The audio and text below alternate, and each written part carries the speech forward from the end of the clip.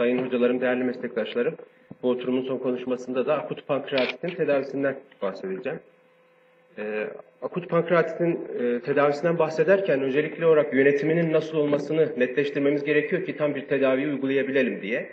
Ee, benden önceki konuşmacı e, meslektaşlarım bahsettiler. Tanıyı koyarken e, yararlandığımız e, son guideline'lar özellikle 2013 yılında American College of Gastroenterology guideline'ına göre tanıyı koyarken e, üç önemli parametreden ikisinin mevcudiyeti önemli. E, ve bu tanıyı koyduktan sonra etiyolojiyi ortaya koyduktan sonra tedavimizi ona göre yönlendireceğiz ve şiddetini pankreatitin değerlendirerek tedavimizi ona göre yönlendireceğiz. E, bu iki tanı kriterinin mevcut olması yani abdominal ağrı, e, amilaz ya da lipazın üst değerinin 3 katından daha fazla yüksek olması e, ya da abdominal görüntüleme bulguları. Bu üç kriterden iki tanesinin varlığı halinde tanımızı netleştiriyoruz. Eğer bunu yapamadıysak, tanıyı koyamadıysak 48-72 saat içerisinde bilgisayarlı tomografi ya da MR ile yeniden değerlendirme önerilmekte yine guideline'a göre. Amilazı yükselten başka durumlar olduğunu biliyoruz ama e, bu diğer durumların hepsinde e, nadiren 500'ün üzerine amilazın çıktığını, lökositin de 12 bin üzerine çıkması için ancak apsenin eşlik etmesi gerektiğini biliyoruz. E, bir hasta karın ağrısı var, epigastrik bölgeden başlayan sırta vuran bir ağrısı var ve başvuru lipaz değeri 500 ise böyle bir hastada tanı koymak için artık radyolojik yöntemlere gerek yok. Tanımızı e, koyabiliriz. E, üç kriterden ikisi pozitif olduğu için görüntüleme olmaksızın. E, Küşat Hocam e, değerli konuşmasında bahsetti. Tüm hastalara, akut pankreatit tanısı almış olan tüm hastalara abdominal sonografi mutlaka yaptırıyoruz. E, etiyolojik olarak safra kesesi taşını, safra taşlarını ortaya koymak adına. Bunu bulamadıysak, safra taşı yoksa ve anlamlı alkol kullanım öyküsü yoksa o zaman trigliseritlerine bakıyoruz ve trigliseritlerin binin üzerinde olması akut pankreatit etiyolojisinde e, rol oynadığını gösterecektir bize. 40 yaşın üzerinde bir hasta e, ve diğer sebepler yok ise pankreatik tümör olabileceğini aklımızda tutacağız. 30 yaşından küçük bir hastada da e, herediter pankreatit açısından genetik testleri yaptırma ihtiyacı hissedebiliriz. Bundan sonraki aşamada tedavimizi planlamak üzere e, ilerlerken pankreatitin şiddetini değerlendirmemiz gerekiyor. Ve bu pankreatitin şiddetini, akut pankreatit şiddetini değerlendirmede birçok skorlama sistemi tanımlandı. Hala bizim kullandığımız e, ranson önemini kaybetmedi. Ranson kriterlerini hala kullanıyoruz. Apache, e, bilgisayarlı tomografi şiddet indeksi gibi e, skorlama sistemleri var. Ama bunlar içerisinde BISAP skoru dediğimiz e, skorlama yine e, önemli bir skorlama ve e, bedside index of severity dediğimiz bu skorlama sistemine göre yine e, hastadaki üre kreatin değerleri, üre değeri, mental statüsü özellikle Glasgow koma skalasını değerlendirerek e, sistemik inflamatuar yanıt sendromunun varlığı, yaşın 60'ın e, üzerinde olması ve plevral efüzyonun olması gibi kriterler ile bir skorlama yaparak hastanın e, hem hastanede yatan hastanın şiddetini hem de beklenen morbiditesini, mortalite oranlarını belirlememiz mümkün. Şiddetli pankreatit tanımlaması önemli. E, akut pankreatit e, ile birlikte organ yetmezliğinin ya da nekrozun varlığı bize şiddetli pankreatit tanımlaması şeklinde karşımıza çıkıyor. E, ve böyle bir hasta eğer başlangıç itibariyle karşımıza çıktı ise bundan sonraki hastanın takibini yoğun bakımda yapmamız gerektiğinde yine guideline'lar bize söylüyor. Ranson kriterlerini hala kullanıyoruz dedim. Yani 7 ve 8 pozitif ranson kriterlerinin %100'e varan mortalitelerini öngördüğünü, gösterdiğini biliyoruz. Atlanta sınıflamasından bahsedildi. Bu sınıflama da e, 2013 yılında revize edildi ve bu revizyonda e, bir orta şiddetli bir akut pankreatit e, sınıflamaya dahil edildi. E, geçici bir organ yetmezliği 48 saatten daha kısa süren geçici bir organ yetmezliği olması durumunda bir orta şiddetli akut pankreatitten bahsedildi 2013'teki revizyonunda. Yine Baltazar kriterlerinden de e, bir kısmen bahsedildi. Bu da bilgisayarlı tomografi eşliğinde bizim e, pankreatitin şiddetini değerlendirerek tedavimizi belirleyeceğimiz önemli bir e, şiddet sınıflama sistemi. Bilgisayarlı tomografiden yararlanıyoruz özellikle 48-72 saat içerisinde pankreatin gidişini bize değerlendirerek flegmon, nekroz, pseudokist, abste hakkında e, ciddi yorumlar yapabiliyor. Ve bundan sonra e, tanımızı koyduk, etiyolojiye yönelik tedavimizi planladık e, ve hastalığın şiddetini belirledik. Bundan sonraki aşama artık başlangıç tedavisini uygulamak. E, kısmen bahsedildi yine. E, çok erken ve agresif bir sıvı resütasyonu ile başlıyoruz tedaviye. E, 200, 250 ile 500 mililitre bölü saat oranında e, sıvıyla ve bolus sıvılarla başlıyoruz. Ve ilk 12-24 saat sıvı tedavisine en iyi yanıt aldığımız ve en kritik dönem. E, izotonik kristaloid sıvılar daha çok tercih ediyoruz ve durumsal öneride ringer laktat yine bu guideline'lara göre. E, Peki sıvı tedavisini başlarken e, hedefimiz ne olmalı? Devam ettirirken hedefimiz ne olmalı? İşte üre kreatinin değerlerini takip edip 6 saatte bir bunlardaki azalma olmasını hedefliyoruz sıvı tedavisinde. Hastanın monitorizasyonu çok önemli. Tedaviye başladığımız hastada monitorizasyonumuzu mutlaka yapıyoruz. Kan transfüzyonu gerekecek hastalar oldukça az ve sınırlı. Ama vazoaktif maddeler, e, santral venöz basınç takibi, mesane kateterizasyonu gibi monitorizasyon bulguları çok önemli. Elektrolitleri yakından takip ederek elektrolitleri düzeltmeye çalışıyoruz. Özellikle magnezyumu düzeltmeden kalsiyumu düzeltmenin daha zor olduğunu biliyoruz. Hipergliseminin kontrolü de yine tedavide önemli. Antibiyotikler şu andaki tüm guideline'lara göre rutin profilaktik antibiyotik kullanımı önerilmiyor. Bu kesin bir öneri.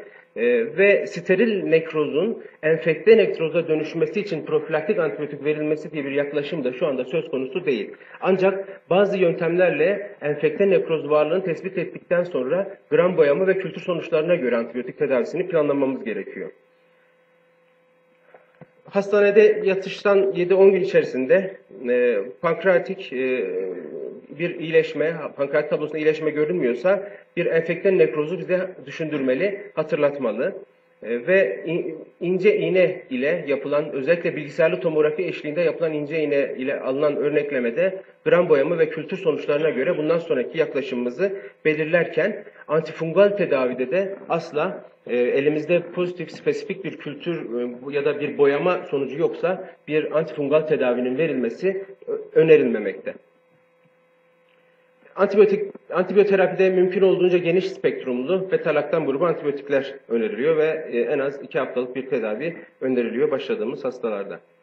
Beslenme konusu önemli. Ee, Osman Hocam sağ olsun bir kısmen bahsetti.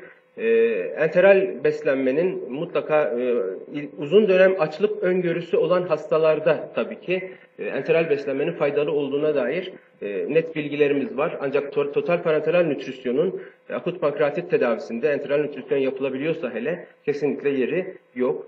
Ee, nazogastrik mi yoksa nazojejunal bir tüp ile beslenme mi? İmkanlar dahilinde olan şey neyse o. Nazojejunal beslenmenin biraz daha üstünlüğü olduğunu söyleyen çalışmalar olmakla birlikte e, nazojejunal tüp takmadım, nazogastrikten e, beslemeyeyim gibi bir yaklaşım içerisinde olmanın da doğru olmadığını biliyoruz.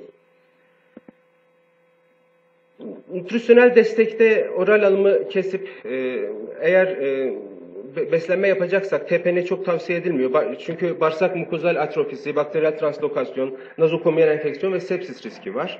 E, Erken enteral beslenme önerilmekte. Nazojejinal tüple e, beslenme eğer başarılı olmuyorsa perkütan e, veya cerrahi gastrostomi ya da jejinostomi gibi yöntemlerle beslenmeye devam edilmesi tedavinin diğer bir basamağı.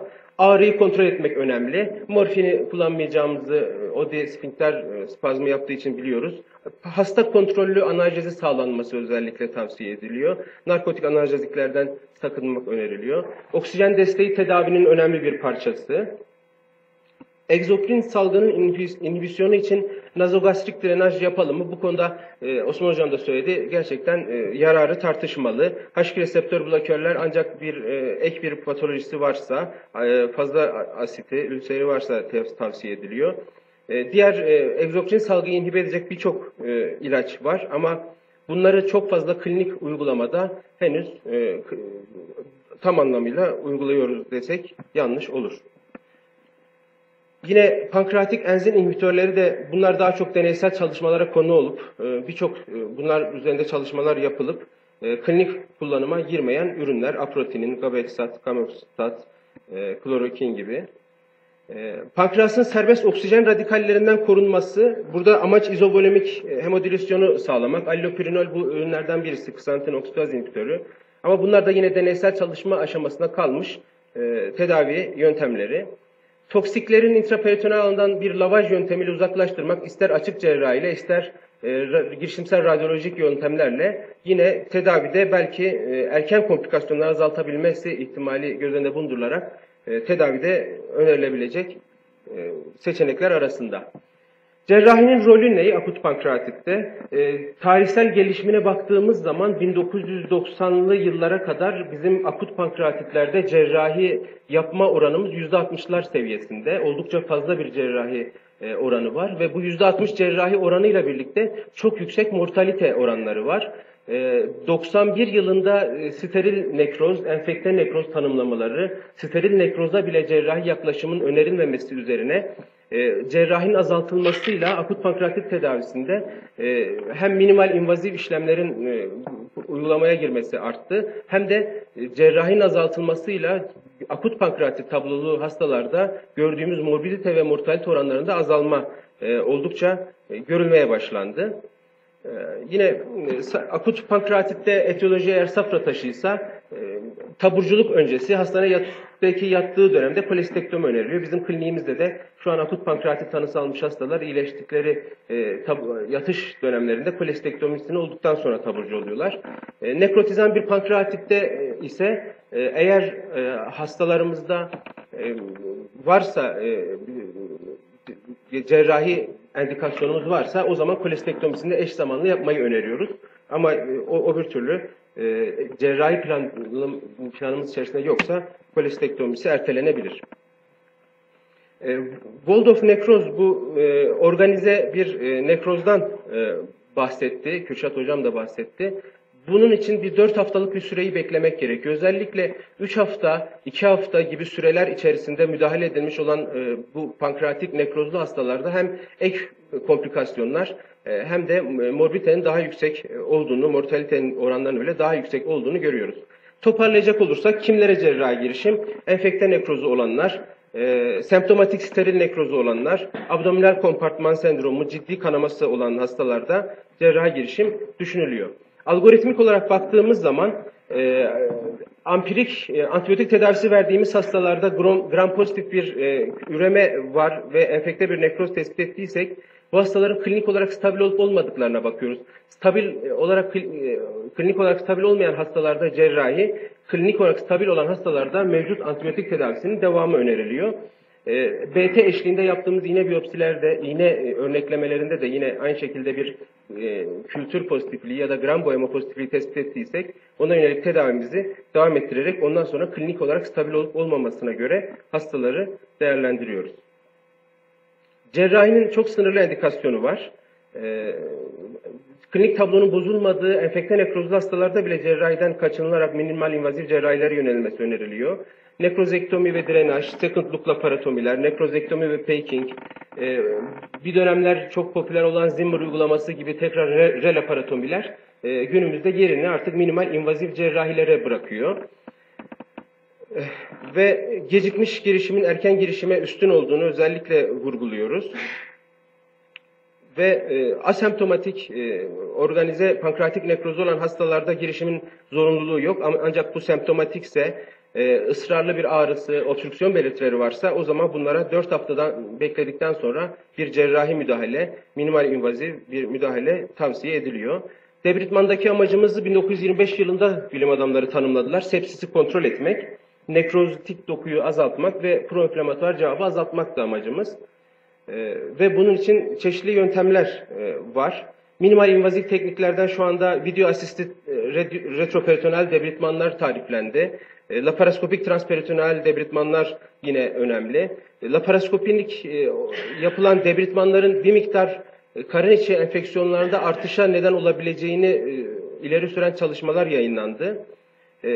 Retroperitoneal yaklaşımların ise peritoneal kirlenmeyi oluşturmadan, peritona girmeden daha yüksek başarı elde edebileceğini iddia eden çalışmalar yayınlandı. Ama bunlar arasında, bu yöntemler arasında hangi yöntemin hangisine ne kadar üstün olduğu konusunda net bir e, bilgimiz şu anda yok. E, hangi yaklaşımla bunlara ulaşalım. Bazı nekrozlarda gerçekten e, ulaşması zor, minimal invaziv ulaşması zor durumlar tespit ederek bunlarda açık cerrahi tavsiye edilebiliyor. Transgastrik mi ulaşalım, retroperitoneal mi ulaşalım? Bunlar e, hastadan hastaya değişiyor. E, bu BT eşliğinde bir e, trokarın yerleştirildikten sonra nekrozektomi uygulanmış, retro- retroperitoneal lomber bölgeden retroperitoneal nekrozektomi uygulanmış olan bir hastanın slaytı. E, açık cerrahide de yapılacak şeyler zaten standart e, geleneksel e, tedavi yöntemleri ve bunların morbiditelerinin ve mortalitelerinin yüksek oranlara ulaşabildiğini, %95'lere varan morbiditelere neden olduğunu biliyoruz. Endoskopik drenajın avantajları neler? Eksternal pistül yok, e, doğal yollardan giriş var, skar yok, herni yok ve minimal invaziv olması önemli. E, Endoskopik e, olarak bu slaytta işte nekrotik dokuların şu pembe canlı dokular elde edilinceye kadar debritmana devam edildiğini görüyoruz. Şu hava değerleri olan enfekte nekrozlu hastanın tomografik görüntüsü. Dezavantajları ne? Tekrarlayan girişimler gerektirmesi, perforasyon, hava embolisi gibi endoskopik e, yöntemlerin dezavantajları var. ERCP ile ilgili Aydemir Hocam her şeyi söyledi. E, Herhalde en kesin olan şey e, kolanjit varlığında mutlaka ERCP'nin tedaviye eklenmesi. Pseudokistleri de yine 6-8 hafta içerisinde gerilemiyorsa ve semptomatik ise bunların drenaj prosedürleriyle tedavi edilmesini öneriyoruz. E, Perkütan, endoskopik ve cerrahi olmak üzere per- e, bu pseudokistlere cerrahi müdahale yapılabilir. Kistogastrostomi, kistoduodenostomi ve kistojejinostomi gibi e, yöntemler. Cerrahi planlayacaksak bunları 6 haftalık bir süre için beklemek tavsiye ediliyor. Asit, pankreatik asitin tedavisinde de endoskopik pankreas kanalı stenti, rüptüre kısma parsiyel rezeksiyon ve histojejunostom ile drenaj önerilen yöntemler arasında. Son olarak bu abdominal kompartman sendromundan bahsedecek olursak, abdominal kompartman sendromu da akut pankreatit hastaların yönetiminde karşılaştığımız önemli problem ve abdominal basıncın e, artması yüksek mortalite oranlarıyla karşımıza çıkıyor. E, klinikte de bu tür hastalar bizi gerçekten e, zaman içerisinde çok zor durumlara sokabiliyor ama şu vakum asistit yöntemlerle yeni açık yara takipleriyle bunlara biraz daha hakim olmak durumu söz konusu olabiliyor.